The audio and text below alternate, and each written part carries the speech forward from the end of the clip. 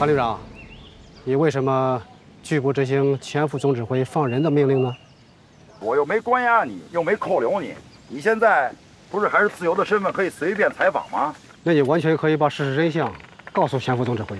你没有扣押专家组成员，他们的安全是可靠的。我跟您说实话吧，我要不是看在您是军界的老记者，我就把您给扣押起来了。扣押我？扣押你啊，省得你在这搅局啊。我早就看出来了，在这场演习中，真正搅局的人就是你韩鹏，是吗？你看出来了？我这一点都看不出来，还有什么资格当首席记者？我跟您说实话吧，我之所以拒不执行前副总指挥的命令，因为啊，他现在已经不是一个公正的裁判者和指挥者了。他呢，跟我们一样，已经是第四方了，也是一个搅局者。你是说，前副总指挥也在搅局？没错啊，只是他自己不知道，还在以副总指挥的身份下命令呢。其实他已经是搅局者了。哎，专家在这儿呢，你也可以听听专家的意见，好吧？刘所长，你来谈谈。祖轩同志，我以一名军事专家的名义说几句实话。勇士行动演习最大的看点，就在于有第三方介入，由一方杀出来搅局。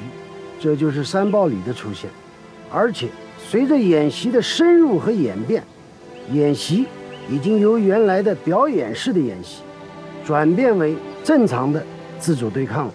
这正是我们想看到的，也是贴近实战的训练方法。但有人还是想把它拉回到演戏和走过场的时代。韩旅长说的没错，本来这场演习。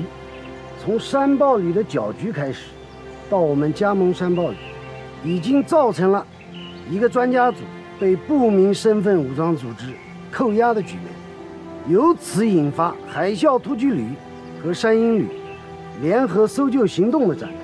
红蓝双方是否能成功联合行动，都有哪些动作，是否能营救成功，而山豹旅又将如何采取措施与之对抗？已构成了相当好看的戏剧旋律。战争的真实性就在于它的结局，往往出人意料。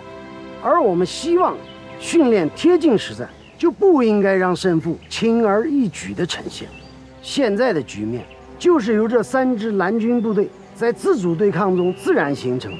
双方或是三方的交战事态已经确立，就等开战了。而前副总指挥左一个指示，右一个命令。